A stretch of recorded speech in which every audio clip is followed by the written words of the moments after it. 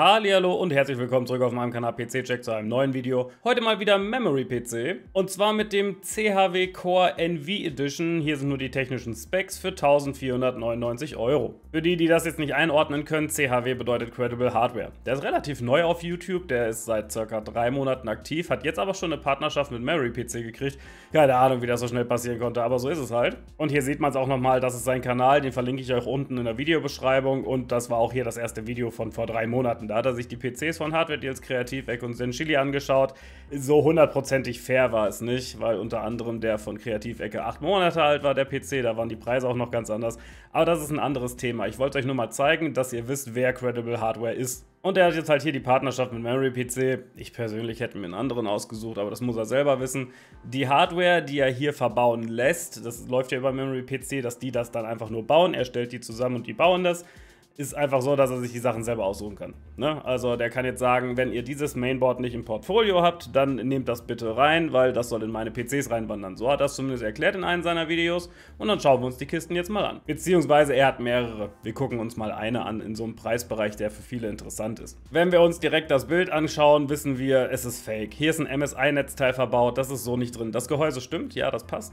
Hier sind Schläuche einer Wasserkühlung, die so auch nicht verbaut ist. Dann haben wir hier voll bestückten RAM, das könnte vielleicht sogar sogar der Corsair Vengeance sein. Hier ist eine MSI-Wasserkühlung drin, eine 240er, wie eben schon gesagt, ist auch nicht verbaut.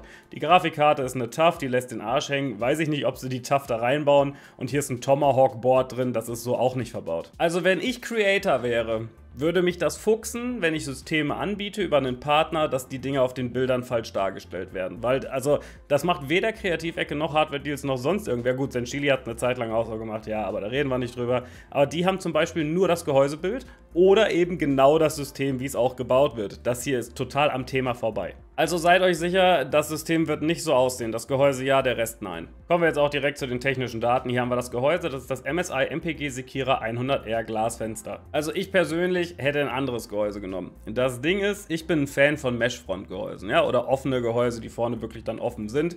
Hier haben wir nur diese Seitenschlitze. Er selber sagte, glaube ich mal in einem Video, dass das nicht so viel ausmacht, aber ich habe es getestet, zumindest in dem Deepcool-Gehäuse.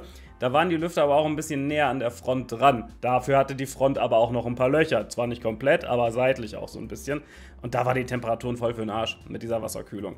Ich weiß nicht, wie sich das hier verhält. Es kann sein, dass es funktioniert. Qualitativ ist es bestimmt gut, das Gehäuse. Das kostet ja auch ein bisschen was. Aber ich hätte ein anderes genommen. Rein von der Größe her finde ich es okay. Grafikkarte und so passt alles super rein. CPU-Kühler auch. Selbst größere CPU-Kühler passen da gut rein.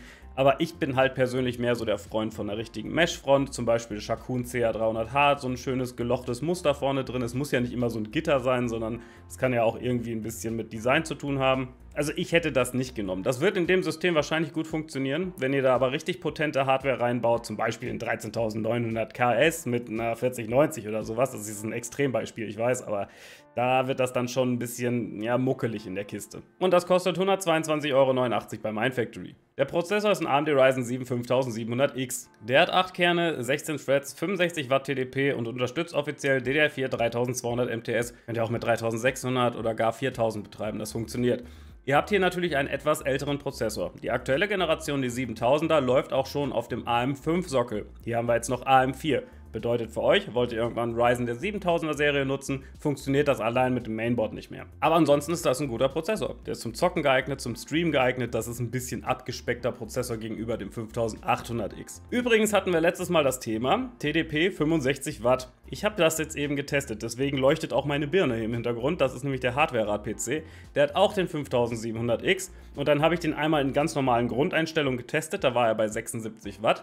Und dann noch mit Overclocking über das Ryzen Master Tool war der bei 112 Watt. Aber es wurde in den Kommentaren geschrieben, dass die teilweise 142 Watt gemessen hätten. Da glaube ich nichts von. Es sei denn, ihr versucht es jetzt wirklich noch richtig hart zu übertakten, aber bei mir war hier bei 112 Watt Schluss. Und das ist halt wichtig für euch, wegen dem CPU-Kühler, der hier verbaut ist, da kommen wir gleich noch zu. Und der kostet 179 Euro beim Mindfactory. Da wären wir auch schon beim CPU-Kühler, das ist ein Be Quiet P-Rock 2FX Tower Kühler. Der hat eine TDP-Klassifizierung von 150 Watt. Das bedeutet für euch im Umkehrschluss, selbst wenn der Prozessor unlocked ist und 112 Watt zieht, schafft der CPU-Kühler das locker. Der wird natürlich ein bisschen lauter, ist der PC hinter mir auch geworden, weil 112 Watt sind definitiv mehr als 76 Watt.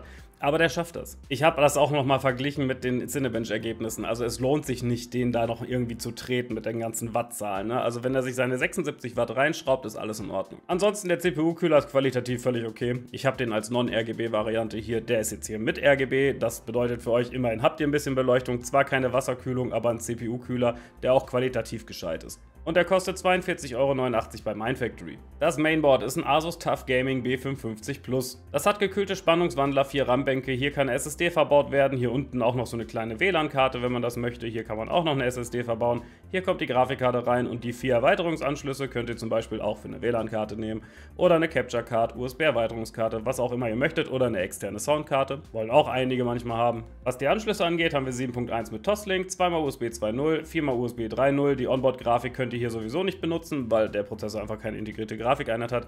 USB 3.1 ist auch noch mit am Start, USB Typ C auch und dann haben wir hier noch einen Netzwerkanschluss. Ist ein grundsolides Board, nicht so ein Micro-ATX-Gefuckel oder sonst irgendwas. B550-Chipsatz reicht auch völlig aus für den 5700X.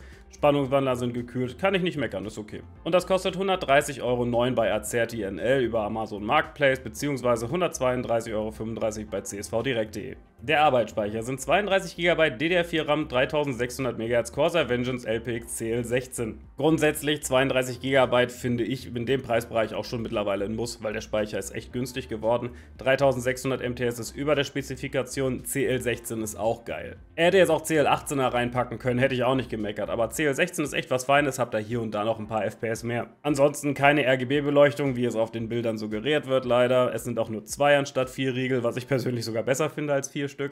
Aber ihr habt halt wirklich null Beleuchtung. Und der kostet 98,32 Euro beim Mindfactory. Die Grafikkarte ist eine Nvidia GeForce RTX 4070 12 GB DLSS 3 fähig, inklusive Overwatch 2 Ultimate Battle Pass Bundle. Ja gut, das Bundle, das kostet glaube ich, boah, ich bin so ein Hardcore-Zocker, was Overwatch angeht.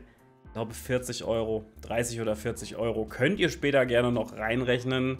Ob sich das lohnt, weiß ich nicht. Zocken muss man trotzdem, sonst kriegt man diese ganzen Goodies nicht, die im Battle Pass halt drin sind. Das bedeutet jetzt aber auch für euch, dass es einfach so ist, dass ihr nicht wisst, was ihr bekommt. Es kann jegliche 4070 sein. Ich nehme jetzt hier eine der günstigsten, das ist die Ghost OC von Gainward. Aber es ist relativ egal, was ihr nehmt. Die eine hat ein besseres Kühldesign, die andere ein schlechteres. Viele mögen dann noch RGB von Asus oder MSI oder sonst was. Aber grundsätzlich sind die 4070er eigentlich alle gleich. Sage ich auch immer wieder, eine gute Karte für WQAD und teilweise sogar 4K. Kommt immer ganz auf das Game an. Das, was hier limitiert, sind die 12 GB Videospeicher, vor allen Dingen in 4K. Aber sonst grundsätzlich eine super Grafikkarte. Keine Frage. Und bitte jetzt nicht verwechseln mit einer TI. Ne? Das ist die neue 4070. Die TI ist nochmal stärker, auch gerade in 4K. Wobei da limitiert der Speicher genauso mit 12 GB. Naja. Und die kostet 627,92 Euro bei Mindfactory. Die SSD ist eine 1000 GB Western Digital WD Blue SN570. Ja, 1 Terabyte ist noch okay. Wenn ihr mehr Speicher braucht, dann konfiguriert es euch auf jeden Fall noch mit da rein. Mit einem Terabyte kommt man erstmal klar. Ich persönlich würde auf mindestens 2 Terabyte gehen. Inwieweit das realisierbar ist bei 1500 Euro, was der ganze PC kostet, weiß ich nicht. Auf jeden Fall hat die eine Lesegeschwindigkeit von 3500 MB die Sekunde und eine Schreibgeschwindigkeit von 3000 MB die Sekunde und sie hat TLC-Speicher. Ist für den normalen Gamer eigentlich nicht wichtig, aber ich sag's jetzt dabei, weil das was Gutes ist. Ist halt eine stinknormale PCI Express 3.0 SSD. Passt. Und die kostet 52,61 Euro bei Mindfactory. Das Netzteil ist ein Be Quiet Pure Power 12M 750 Watt voll Vollmodular 80 plus Gold. Das hat 10 Jahre Herstellergarantie, ist 80 plus Gold zertifiziert und eben vollmodular. 750 Watt reicht ganz dicke für das System aus Modularität ist geil, fliegen euch die Kabel nicht im Gehäuse rum, die werden dann einfach mitgeliefert, die dann nicht benötigt werden, falls ihr später mal was erweitert. Was weiß ich, ihr wollt eine 2,5 Zoll Festplatte oder so reinschmeißen. Habt das Kabel im Karton, schließt es ans Netzteil an und daran dann die Festplatte. Und es hat halt eben schon den neuen ATX 3.0 Standard. Ist vor allen Dingen wichtig für die neueren Grafikkarten, gerade von Nvidia, zum Beispiel auch eine 4070 Ti oder so. Die haben diesen neuen 600 Watt High Power Anschluss. Bei der 4070 gibt es verschiedene. Je nach Hersteller hat man halt dann den neuen Anschluss oder noch den alten. Ist aber egal, ist beides mit dabei bei diesem Netzteil. Aber ihr seid auf jeden Fall für die Zukunft gerüstet. Falls ihr mal eine Grafikkarte habt mit diesem neuen Stecker, ist der auf jeden Fall hier mit dabei. Und qualitativ bei 10 Jahren Herstellergarantie brauche ich auch nichts zu sagen. Ne? Ist halt be quiet. Und das kostet 107,89 Euro bei Mindfactory. Windows haben wir übrigens nicht mit dabei. Dann haben wir noch 24 Monate Herstellergarantie. Dann noch Norton 360 for Gamers und dann haben wir noch dieses G-Data Internet Security mit dabei. Ja, braucht ihr alles nicht. Lasst es einfach weg. Ihr habt den Windows Defender, der reicht dicke. Und dann wären wir auch schon beim Endergebnis. Hier haben wir die SSD, den Prozessor, den RAM, die Grafikkarte, das Mainboard, den CPU-Kühler, das Gehäuse und das Netzteil. Und da landen wir beim Gesamtpreis von 1361,61 Euro. Das System soll kosten 1499 Euro. Ja, da seid ihr auf jeden Fall, was den Zusammenbau angeht, noch günstiger, als würdet ihr die Sachen jetzt bei Mindfactory kaufen und von Mindfactory für 190 Euro zusammenbauen lassen. Das System ist okay, ist auch gut konfiguriert. Natürlich müsst ihr euch damit abfinden, dass das immer noch die ältere AMD-Variante ist. Also aufrüsten ist da nicht mehr großartig. Natürlich könnt ihr da noch ein, was weiß ich, ein 5800 X3D oder ein 5900er Ryzen da reinschmeißen, das funktioniert, aber die 7000er Serie halt nicht mehr. Mit DDR4, ja, kann man in dem Preisbereich auch noch gehen. Ich hätte mir persönlich DDR5 gewünscht, aber geht dann mit dem Prozessor wieder nicht, von daher ist das eh gehops wie gesprungen. Und das Gehäuse, da hätte ich vielleicht ein anderes genommen. Da ist auch eine Geschmacksfrage, aber ich persönlich bin halt eher so für so ein Mesh-Gehäuse. Und dann bin ich mal so auf den Gedanken gekommen, schaust du mal bei Hardware-Rat, was gibt es da in die Richtung so, weil ich habe jetzt halt gerade den Hardware Fahrrad-PC da hinten stehen. Da dachte ich mir, guckst du mal auf die Page, was hat er preislich da anzubieten. Und hier haben wir ein ähnliches System, was 1300 Euro kostet anstatt 1500.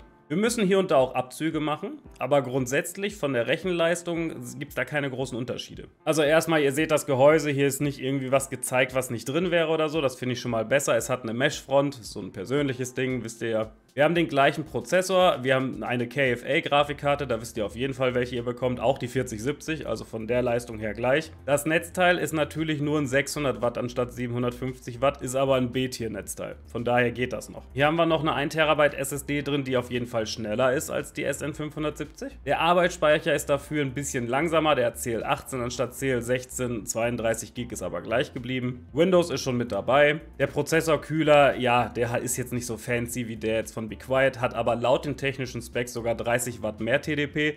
Glaube ich dem Ding zwar nicht, weil ich habe das Teil da hinten stehen, aber er ist ungefähr gleichzusetzen mit dem Be Quiet. Und die ganze Nummer dann für 200 Euro weniger. Das müsst ihr jetzt selber wissen. Wollt ihr dieses fancy Gehäuse, was ein bisschen leuchtet, mit diesem FX-Kühler, der ein bisschen leuchtet, oder nehmt ihr dann den hier, habt ein bisschen weniger Leistung beim RAM, aber eben von der Menge her das gleiche und den gleichen Prozessor und eben die gleiche Grafikkarte. Ob man das Gigabyte B550 Gaming X jetzt gleichsetzen kann mit dem TUF, weiß ich nicht. Ist der gleiche Chipsatz. Die beiden Prozessoren laufen da auf jeden Fall drauf, egal wo ihr die draufsteckt, das passt. Den habe ich jetzt natürlich auch nochmal bei Geizhals durchgejagt, um da zu gucken, wie da der Aufpreis ist. Nicht wundern, die SSD stimmt hier nicht, aber der Preis stimmt. Das Problem ist einfach, diese Innovation IT SSD gibt es bei Geizhals nicht, zumindest nicht genau die. Ich habe aber online geschaut bei den verschiedenen Händlern, da kostet die ungefähr 56 Euro. Deswegen habe ich jetzt die hier mit reingeworfen. Dann haben wir hier den Prozessor, den RAM, die Grafikkarte, das Mainboard, den CPU-Kühler, das Gehäuse, das Netzteil und Windows. Und da landen wir beim Gesamtpreis von 1329,71 Euro.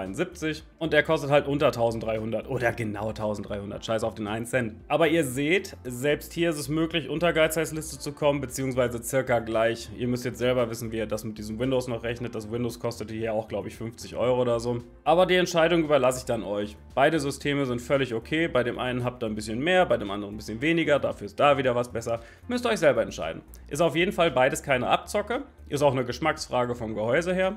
Und falls Credible Hardware dieses Video sieht, und das wird er definitiv sehen, weil wir uns schon darüber unterhalten haben, was der so alles anbietet bei Memory PC, Alter, seht zu, dass diese Bilder hier rauskommen. Auch wenn da steht, Abbildungen können von der gewählten Konfiguration abweichen. Das geht nicht, sowas. Das ist einfach too much für das, was die Leute bekommen. Wir reden jetzt nicht darüber, ob der RAM leuchtet oder nicht. Aber hier ist eine Wasserkühlung drin, dieser ganze Schnickschnack. Nein, nein, das muss nicht sein. Gut, dann vielen Dank fürs Zuschauen. Lasst ein Däumchen nach oben da, wenn es euch gefallen hat. Abonniert den Kanal, wenn ihr es noch nicht gemacht habt. Bis dahin auf Wiedersehen und ciao, ciao.